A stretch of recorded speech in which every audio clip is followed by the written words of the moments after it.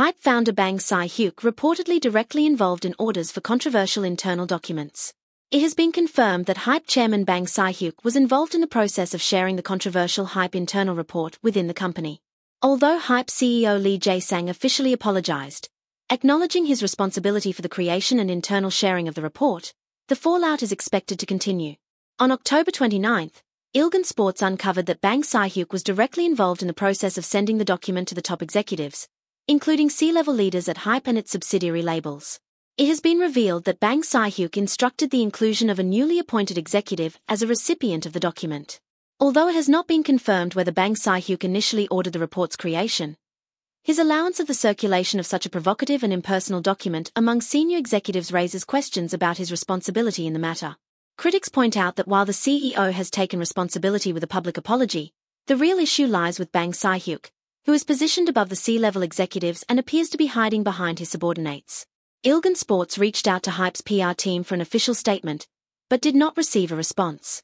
On the same day, HYBE CEO Lee Jae-sang posted an apology on the company's official website, stating, I fully acknowledge the mistakes made in including provocative and harsh expressions about K-pop artists, adding personal views and evaluations, and leaving such content in an official document.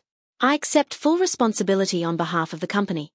He acknowledged the inappropriateness of the document and apologized. HYBE also announced the dismissal of Kang, the individual responsible for compiling the weekly music industry report, containing the provocative content, and confirmed the discontinuation of the report. However, with the revelation of Bang Si-hyuk's involvement in the sharing process, critics have suggested this might be a case of scapegoating. The internal report in question was sent weekly to C-level executives at HYBE and its subsidiary labels. The controversy erupted when part of the report was revealed during a parliamentary inspection by Democratic Party lawmaker Min Hyung Bae on October 24. The report included harsh critiques of idols' appearances, such as, they debuted while still in their ugly phase, so none of them have idol-like features, and their plastic surgery is too obvious, and other members are shockingly unattractive. The content caused widespread shock. HYBE responded by explaining, the monitoring report disclosed during the parliamentary session is a document that compiles various reactions and opinions from fandoms and the industry. It was shared internally with a small number of staff for reference and does not reflect HYBE's stance.